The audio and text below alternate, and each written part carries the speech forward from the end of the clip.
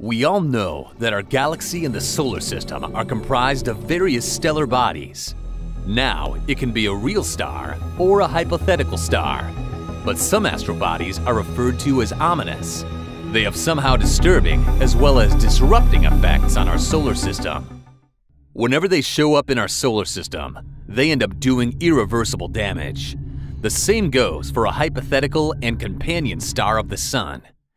This is Earthy Perks with a new episode to reveal the omen nature of this hypothetical star and support the debate for its solar system existence. With creating any curiosity, let's unveil the name of the hypothetical star. It's Nemesis. It was early 1984 when the star first made its appearance in papers. Two researchers, Dave Raup and Jack Sepkoski, came up with their studies linked to 26 to 28 million year extinction as per geological records. Nemesis, being a companion star of the Sun, when it enters the least distance limit between two binary stars, cosmic debris enters the solar system. It is the numerous Oort cloud comets. According to the definition, these are the shell of long period comets, what are spherical in geometry. When entering the inner solar system, i.e., Armada, the comets strike our planet Earth, resulting in the destruction of the ecosystem and causing the extinction of certain species on the planet. According to this figure, as Nemesis travels an orbital period of 26 million years, the Sun's distance would be 1.5 light years. The extinction period predicted for the extinction of dinosaurs.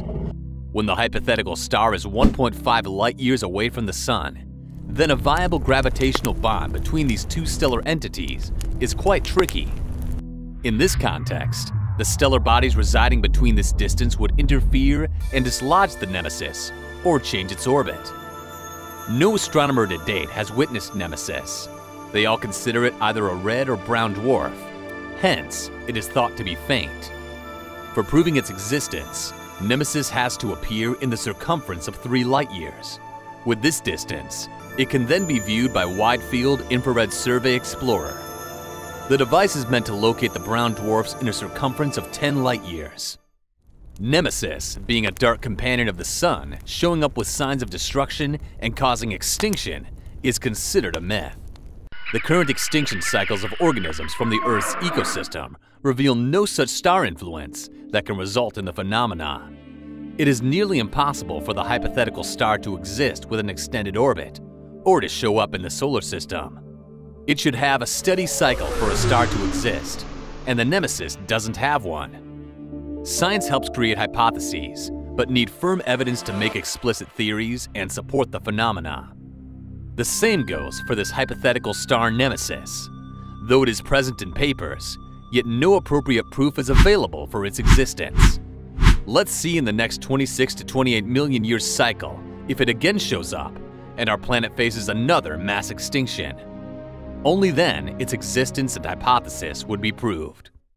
Show your space love. Earthy Perks and Clarnia bring up an exciting offer.